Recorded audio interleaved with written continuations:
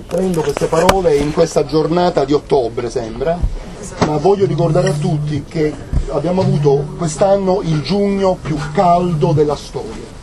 e siamo in un contesto proprio di caos climatico che proprio rende evidente il tipo di situazione che si sta creando in, una, in, un momento in cui per la prima volta nella storia dell'uomo le concentrazioni di CO2 hanno superato i 400 parti per milione.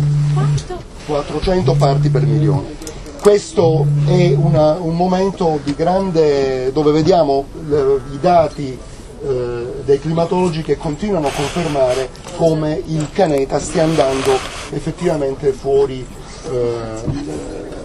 dal, dalla situazione climatica normale. Abbiamo avuto quest'inverno eh, delle situazioni assurde con eh, temperature bassissime a New York e molto alte in Alaska, proprio perché l'eccesso di calore che viene assorbito dal mare nel momento in cui i ghiacci si sciolgono troppo nel polo nord fa sì che tutto il sistema eh, atmosferico sopra il polo venga disturbato con temperature troppo alte. Quando arriva l'inverno questo calore in eccesso viene mandato in atmosfera, disturba il jet stream e quindi che è questo vento che tiene il freddo dentro il circo polare artico, questo eh, e quest'inverno abbiamo visto questo jet stream comportarsi, come hanno detto alcuni climatologi, come da ubriaco cioè il jet ha cominciato a oscillare e abbiamo avuto picchi di temperatura in Alaska, troppo caldo, e picchi di freddo invece a New York e a Manhattan. Ora, questa è l'ultima tappa, devo dire, doverosa a Brindisi di un tour che abbiamo intitolato uh, Non fossilizzanti ed è un tour che abbiamo iniziato in Liguria ospitando i movimenti anticarbone di Vado Ligure, di Savona e, e che concludiamo qui a Brindisi, è un tour che abbiamo dedicato anche alla protesta contro le trivelle a mare. Noi siamo un paese strano, un paese che eh, eh, da, concede sin troppo facilmente eh, le, le, concessioni petrolifere a mare. Io voglio ricordare che se oggi avessimo la bacchetta di Harry Potter e potessimo estrarre tutto il petrolio che c'è dal canale di Sicilia al metà dell'Adriatico dove ci sono i campi petroliferi, noi potremmo coprire i consumi italiani per circa due mesi.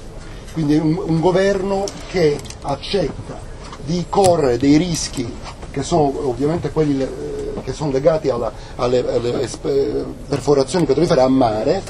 eh, per due mesi di consumo. Quindi questo secondo me è inaccettabile noi non siamo contro l'estrazione del petrolio to go, noi sappiamo che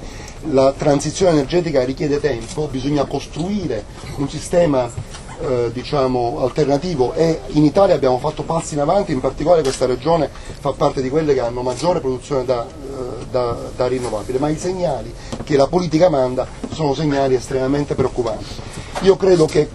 il governo Renzi, che di fatto ha ereditato la strategia energetica nazionale scritta da Passera, dove si prevede l'estrazione del petrolio fino all'ultima goccia, ecco, un governo che continua su questa strada e che quindi dice al Paese noi estrarremo il petrolio fino all'ultima goccia e contestualmente non costruisce uno scenario alternativo che, che basi il nostro futuro al 100% sulle rinnovabili non è credibile. Non è credibile. Io credo che questo è anche è nel contesto questo attacco alle rinnovabili con questa campagna che sta praticamente eh, cercando di far pagare retroattivamente a chi ha investito nelle rinnovabili sia un altro segnale brutto perché eh, noi abbiamo credo due grandi questioni a cui dover rispondere in Italia e in Europa e in generale nel mondo. Una è quella di produrre l'elettricità e l'energia in un altro modo, che sia eh, ambientalmente sostenibile, che produca più posti di lavoro delle fonti fossili, le rinnovabili producono più posti di lavoro a parità di energia prodotta e che quindi sia inaccettabile che nel 2014 ancora si eh, prosegua su una strada sbagliata. Io eh, non entrerò poi nel merito delle questioni più, eh, più locali, c'è Andrea Boraschi, responsabile della, campagna, abbiamo invitato questa mattina sia il Presidente Vendola che il Sindaco Gonzales, ma nessuno dei due viene qui oggi ci dispiace perché noi eh, siamo un'organizzazione che eh, fa attività di protesta anche molto radicali, ma sempre vogliamo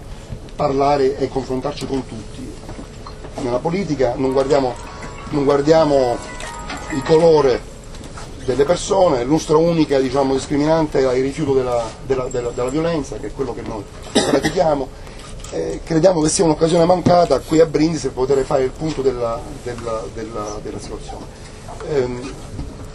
naturalmente io sono capo di un'organizzazione di attivisti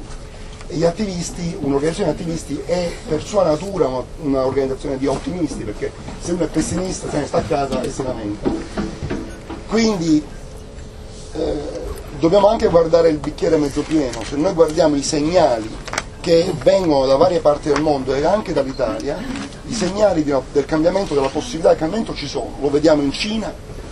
lo vediamo anche in maniera molto eh, sofferta in India dove due nostri attivisti sono stati arrestati il 30 di luglio perché protestavano contro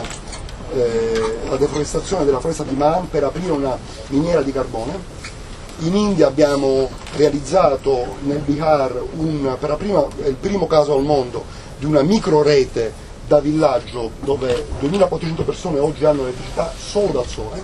ed è il primo caso nel mondo che avviene soprattutto in un paese del, in via di sviluppo. Lo vediamo eh, in Germania dove eh, stiamo organizzando una catena umana per il 23 di agosto contro l'apertura di una nuova miniera di lignite